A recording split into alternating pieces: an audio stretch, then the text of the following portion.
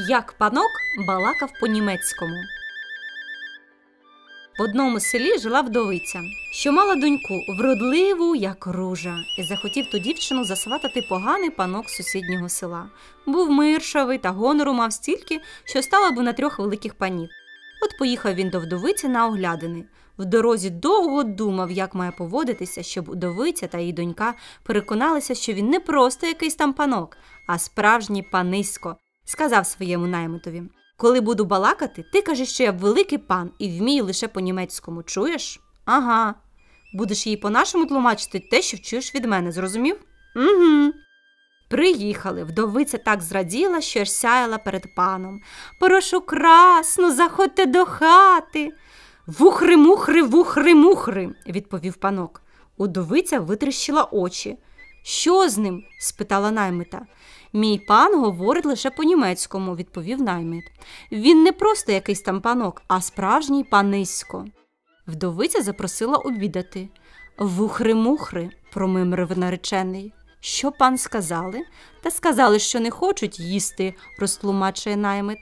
Панок був голодний і за таке тлумачення розсердився на наймита. Аж почервонів, крикнув йому щосили. Вухри, мухри, Наймит смикнув удовицю за рукав. Відійдіть від нього, пані матко, не докучайте з гостиною, бо він може вдарити.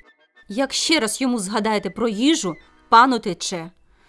Вухри, мухри. застогнав панок, а наймит тлумачить.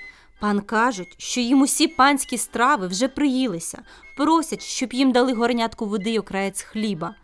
От посідали красненько до столу, панок їв сухий хліб і запивав водою, а вдовиця та її дочка, а за ними й панів наймит, вареники в сметані.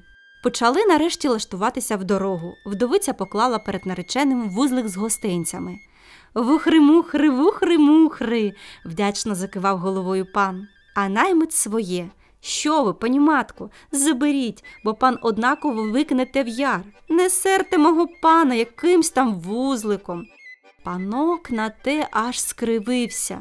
Виїхали за село, і як голодний вовк накинувся панок на наймита. Що ти наробив? Мені з голоду в очах темніє. Наймит знизав плечима. А хіба я знаю по-німецькому? Думав, що тлумачу все, як має бути. Цілу дорогу пан сопів у ніс, але відтоді більше не балакав по-німецькому.